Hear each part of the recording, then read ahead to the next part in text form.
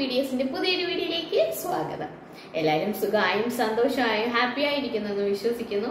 ഓണമൊക്കെ എല്ലാവരും അടിച്ചു പൊളിച്ചില്ലേ? രണ്ട് വർഷത്തെ കൊറോണ ലോക്ക്ഡൗൺ പിന്നെ കുറേ നഷ്ടങ്ങൾ അതിനെല്ലാം ശേഷം വീണ്ടും ഒരു നല്ലൊരു ഓണമായിരുന്നു ഈ വർഷത്തത് അല്ലേ? ഇനി അങ്ങോട്ടുള്ള ഓണവും നന്നായിരിക്കാൻ പ്രാർത്ഥിക്കുന്നു. അപ്പൊ ഇന്ന് നമ്മുടെ കൂടെ ഇന്ന് എന്റെ കൂടെ ഒരു പുതിയ അതിഥി കൂടിയുണ്ട് ആദൃതക്കുട്ടി അപ്പോ ഇന്നത്തെ വീഡിയോയിലോട്ട് പോവാം.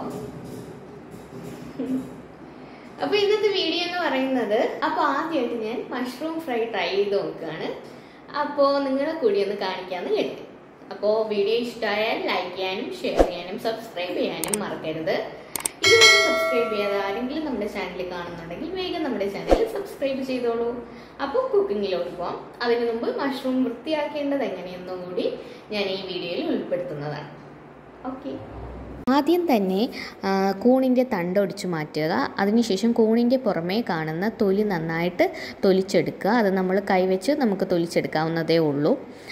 അതിനുശേഷം തണ്ടിലും തൊലി കാണും. ആ തൊലി നന്നായിട്ട് ഇളക്കി മാറ്റുക. തണ്ട് ചിലപ്പോൾ പൊളിച്ചെടുക്കുമ്പോൾ ഒടിഞ്ഞു പോവും. പൊട്ടിപ്പോവും. തണ്ടിന്റെ തൊലിയും നന്നായിട്ട് മാറ്റുക. എന്നിട്ട് തണ്ടിന്റെ അറ്റത്തായിട്ട് ആ ഒരു ഭാഗം കട്ട് ചെയ്ത് കൊടുക്കുക. അതിനുശേഷം കൂണിന് ചുറ്റും ഉള്ള ആ ഒരു കറുത്ത ഒരു ഭാഗവും കൂടി ഇളക്കി മാറ്റി കൊടുക്കുക. അപ്പോഴത്തേക്കും കൂൺ ക്ലീനായി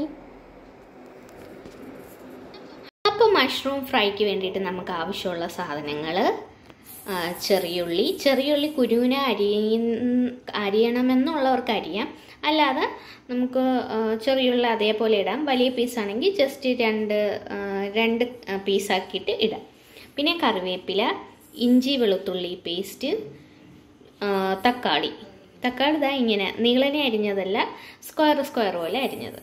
പിന്നെ നമ്മുടെ മഷ്റൂം പിന്നെ നമ്മുടെ മഷ്റൂമാണ് വേണ്ടത്. ഇനി നമുക്ക് കുക്കിങ്ങിലോട്ട് കിടന്നാലോ? ആദ്യം തന്നെ ഒരു പാൻ എടുക്കുക. പാൻ നന്നായി ചൂടായതിനു ശേഷം അതിലോട്ട് എണ്ണ ഒഴിച്ചു കൊടുക്കുക.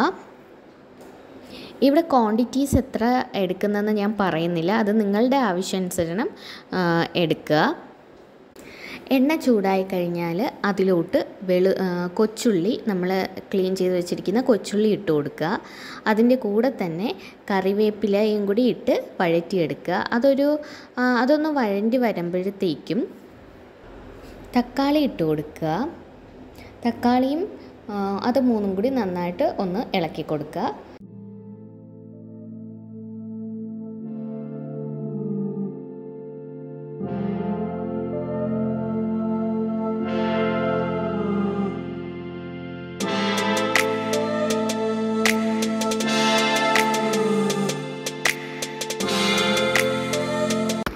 നമുക്ക് കൂണിന്റെ മസാലകൾ ചേർത്ത് കൊടുക്കാം. ആദ്യം തന്നെ ഉപ്പ് ആവശ്യത്തിന് ഉപ്പ് ചേർത്ത് കൊടുക്കാം.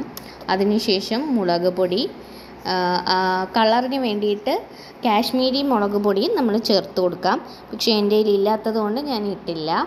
അതിനുശേഷം മല്ലിപ്പൊടി മഞ്ഞൾപ്പൊടി അതിനുശേഷം ജീരകപ്പൊടി ആഡ് ചെയ്യണമായിരുന്നു. എന്റെ കയ്യിൽ ജീരകപ്പൊടി ഇല്ലാത്തതുകൊണ്ട് ഞാൻ ജീരകം കുറച്ച് ആഡ് ചെയ്തിട്ടുണ്ടായിരുന്നു. ഇതാണ് ഇത് മഷ്റൂമിന്റെ മസാല. അതിനുശേഷം നന്നായിട്ട് ഇളക്കി കൊടുക്കുക. നന്നായി ഇളക്കി കൊടുത്തതിന് ശേഷം നമുക്ക് ആ മസാലയ്ക്കും മസാലയ്ക്ക് ആവശ്യമായ വെള്ളം ചേർത്ത് കൊടുക്കാം. ആവശ്യത്തിന് വെള്ളം ചേർത്തതിന് ശേഷം നന്നായി ഇളക്കി കൊടുത്തിട്ട് അടച്ചു വെച്ച് കുറച്ചു നേരം വേവിക്കാം. അതിനുശേഷം പിന്നെയും ഇളക്കി കൊടുക്കണം ഇടയ്ക്കിടയ്ക്ക്. ഈ വെള്ളം നന്നായിട്ട് വറ്റിയതിന് ശേഷം കൂൺ ഇട്ട് കൊടുക്കുക.